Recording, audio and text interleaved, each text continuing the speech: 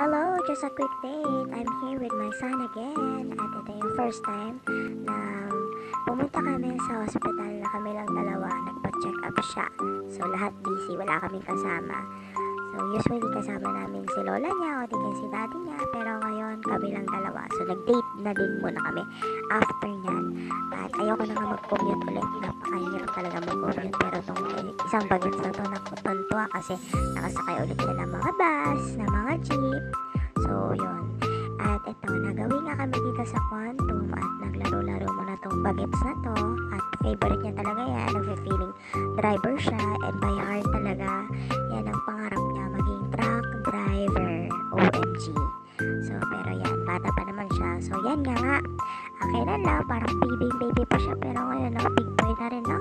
At habang may chance pa tayo, syempre, dapat i-date natin